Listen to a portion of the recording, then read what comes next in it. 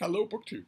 Well, it's that time again. That time that your mother and your resident physician warned you about. It's the return of the very worst event on BookTube. Garbaugust has returned. It was not killed last year. It has returned bigger and more whiffy than ever. and for those of you who don't know what I'm talking about, this is a BookTube event created by CriminOlly. He has most of the blame, and it is designed to celebrate trash in the month of August. When the, the heat and humidity are right up there and everything's putrefying and it seems just fine for reading garbage. So that's what you are tasked with doing in August. Now, Olly started this last year. I was asked to be a co host last year. I had a blast. And uh, a lot of other people did too. This is pretty much the dictionary definition, the textbook example of how well a booktube event can go because everybody loved it.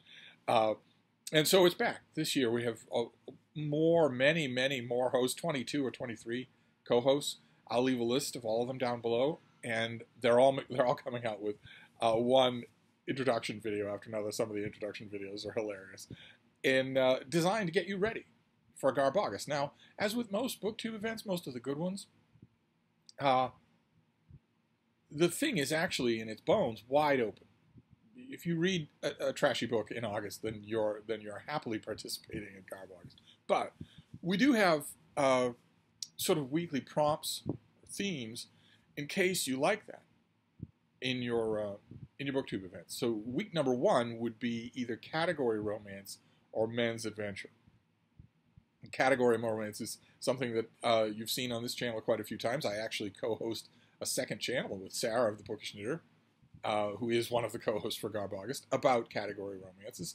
You'll you'll be familiar with them. A lot of you of a certain uh, generation will think of them as supermarket romances. They're they're not the mainstream type thing. Instead, they have numbers. They have usually a telegraph of the plot is the title of the book, and they have a reputation for being really bad, just as a category.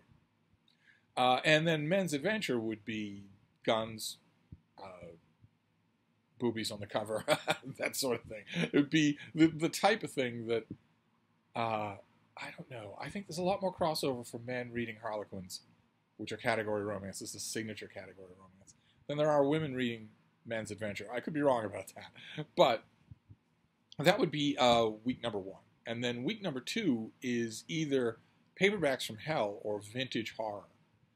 And for the, the parameters being laid down here, vintage is anything uh, earlier than the 1980s. Uh, and Paperbacks from Hell does not need to be one of the many, many books featured in Grady Hendrix's absolutely seminal book.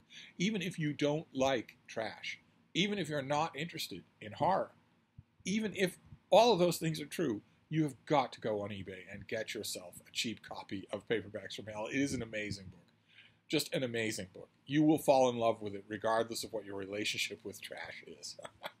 but you don't have to pick a book from, from Paperbacks from Hell, although there are tons of great suggestions in there for wasting your time. It can be just any old horror.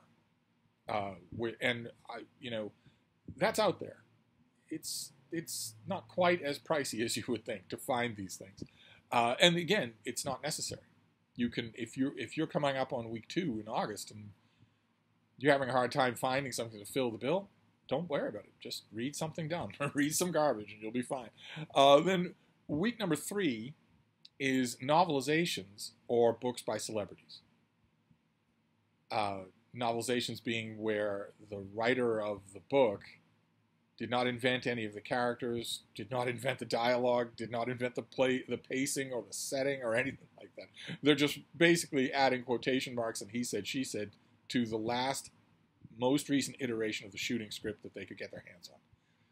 Usually writing the book at breakneck speed on a, on a tough deadline with very little in the way of editing uh, and almost nothing in the way of creative freedom unless you have a name. Unless you're Alan Dean Foster, you have very little in the way of creative freedom. So you can read one of those. The novelizations were, once upon a time, a lot more prevalent than they are now. I don't know I don't know that novelizations have much of any kind of existence at all nowadays. Whereas once upon a time, they were considered an absolutely required arm of a movie's publicity blitz. Yes, you would have posters and maybe a lunchbox and some trading cards, but you would also have a novelization in bookstores. Uh, that would, especially bookstores that had deep penetration into smaller markets, little towns that didn't get the weren't on the distribution list for the main distribution of a big movie. They would still have a drugstore.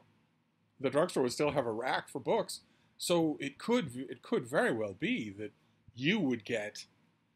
well, the famous example is Star Wars by George Lucas, the novel by George Lucas, which I, would argue, I don't know if there are any firm numbers, but I would argue that probably oh, a good solid 40% of the, of the young people that encountered Star Wars in the 70s encountered it in book form or comic book form before they got a chance to see it in the movies. And that went on and on and on. I think that has completely stopped. Uh, the huge example that would probably prove me wrong would be if there was a novelization for Avatar. I don't recall that there was one. But it used to be for everything. Everything that had a certain price tag to it got a novelization. Like, for instance, what's an example? Uh, well, the the greatest box office flop in Hollywood history, Indiana Jones, the latest Indiana Jones movie, where uh, uh, Take No Prisoners, Don't Need No Man, Girl Boss decks Indiana Jones in the final act of the movie. With one punch, of course, because what's effort for? effort. Who heard of that? Uh, once upon a time, there would have been a novelization of that movie. I'm sure there was one for Indiana Jones and the much hated Crystal Skull.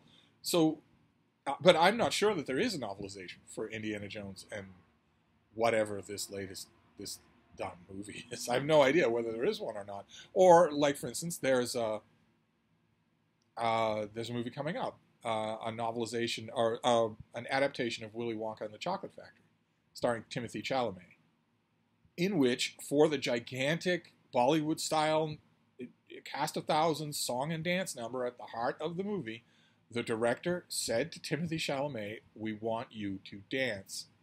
We know that you can. We've seen the TikTok footage of you dancing your head off at nightclubs. And Timothée Chalamet, at the front of a $200 million movie, simply said no. I'll, I'll phone it in. I'll look like I've got, you know, prosthetic legs, but I won't do the real thing. You're only paying me $50 million. and it's possible it's possible that there will be a reprint of Willy Wonka and the Chocolate Factory with Timothée Chalamet's puss on the cover. But once upon a time, there would have been a novelization of that movie. Anyway, in addition to, or uh, well, you name it, right down the line, and those things don't appear to exist much anymore. I don't know if that's a commentary on uh, the cynicism of movie studios or the fact that nobody reads anymore. But, but for the third week of August, for Garbaugust, you could read a novelization. There are lots of them out there, lots of them. Or you could read a celebrity book, a book written by a famous person, uh, with by in the heaviest air quotes imaginable, because the famous person does not write the book. Except in very, very rare instances, they do not write the book. Usually they have maybe one meeting, maybe two. They're on their phone the whole time uh, with the cringing writer who's in the room.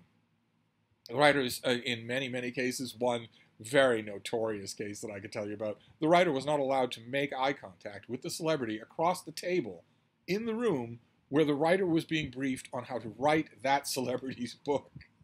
They weren't even allowed to look at the celebrity in the eye, much less talk to them. so, and those things also tend to be done on brutal deadlines with all sorts of fish pecking at the corpse. All sorts of you've got you've got legal, and we need to take these 15 paragraphs out. Do they matter? They'll ask a writer, the writer's crying on the inside. Do they matter? Do these paragraphs matter? uh, or the family will will also want to peck. They'll want to take out 10 paragraphs of their own. Or in nightmare scenarios, the celebrity themselves will get wind of the book. They can't read but they'll get wind, they'll get wind of the book and dislike some aspect of it. Writer will be handed a manuscript or a file now in the electronic age and told turn this around in two days, or you know, or give back the money. Uh, so those books, much like novelizations, those books have reputations for being god awful. so that's your third week, and then the fourth week of Garbaugust is anything goes. And uh, if you watched uh,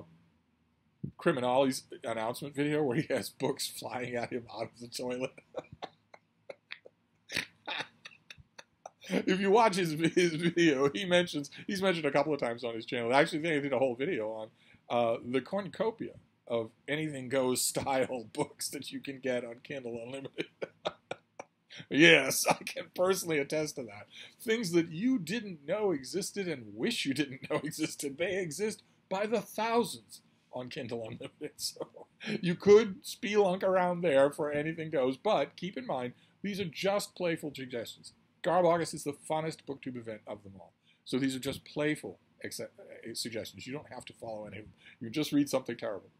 Uh, and I, I, should I should wrap up this announcement video by pointing out that there are all of the bells and whistles. There's, I believe there's going to be, or if there isn't already, Garbaugust merch. If you wanted to do that, uh, there's a group read that's going to be happening. There's a Discord where you can go and talk about whatever garbage you're reading, and there's a there's a Garbingo card. Lots and lots of details. I'll leave a link to uh, to all of these co-hosts, but especially you know Olly's introduction video so that you know what you're getting into. because Garbaugust could not be stopped. At the end of August last year, we cut off its head, drove a stake through its heart, and stuffed its innards with garlic, and that wasn't enough. so Garbaugust will be back in just 10 days. Uh, and I'll be there. I'll be having a blast. I'm hoping you'll join us. Uh, I'll. I don't know that I'm going to do uh, a TBR on this channel. I think what I will probably do for Garbaugust is what I have done for June on the Range or Booktube at War or Book Trek.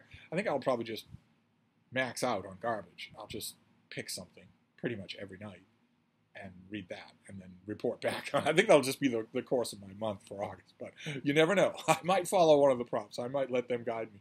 Either way, I wanted to make sure you knew, I'm sure that you, you knew already, that Garbaugust is in fact returning despite warnings from the U.S. Supreme Court and the Environmental Protection Agency, to say nothing of Greta Thunberg, who's been against Garb August from the beginning, with good reason. anyway, we're, we're going to have a lot of fun. Hope you join us. I'll see you then. Thank you,